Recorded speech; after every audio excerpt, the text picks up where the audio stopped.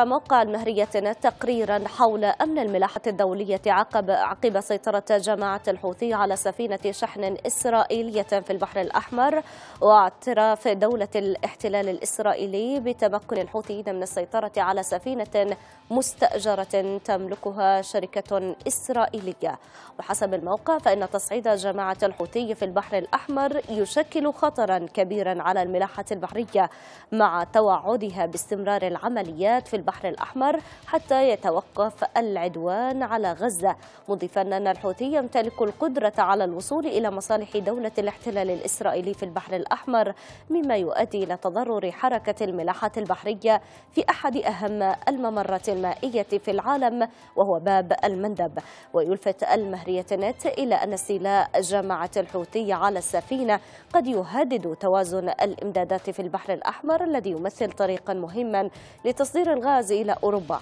حيث قفزت أسعار الغاز الطبيعي في أوروبا بعد أن جدد استيلاء الحوثيين على السفينة المخاوف من أن الحرب بين إسرائيل وحماس قد تؤثر على الممرات المائية الأساسية لشحن الوقود.